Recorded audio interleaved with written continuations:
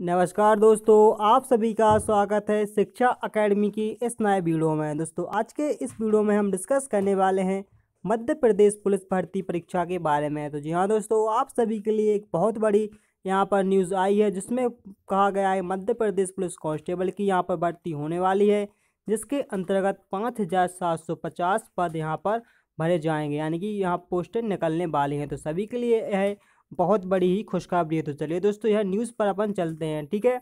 उससे पहले आपसे एक निवेदन है, यदि आप चैनल पर नए हैं तो चैनल को सब्सक्राइब ज़रूर कर लीजिएगा, ताकि जो भी नया अपडेट आप, आएगा तो आप तक उसको पहुँचाने में आसानी होगी। तो चलिए दोस्तों, चलते हैं और वह न्यूज़ देख लेते हैं।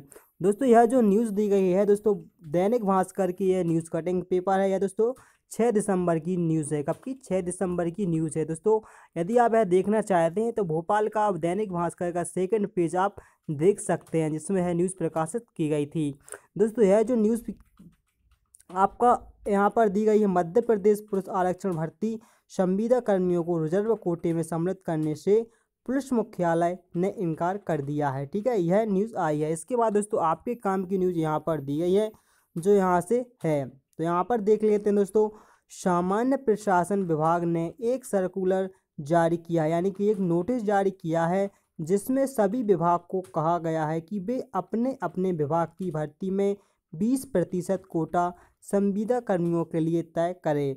इसके पहले पुलिस मुख्यालय ने पुलिस में आरक्षण भर्ती के लिए पाँच हज़ार सात सौ पचास पदों की स्वीकृति ली है।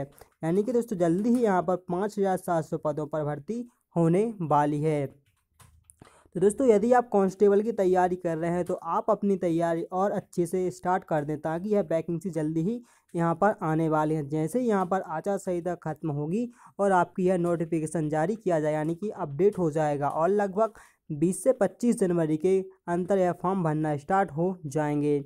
तो दोस्तों, यदि आपको यह न्यूज़ पसंद आई हो तो प्लीज़ वीडियो को लाइक करें, शेयर करें और दोस्तों, चैनल को सब्सक्राइब करना ना भूलें। तो चलिए दोस्तों, मिलते हैं अगले नेक्स्ट वीडियो में। तब तक के लिए दोस्तों, बाय।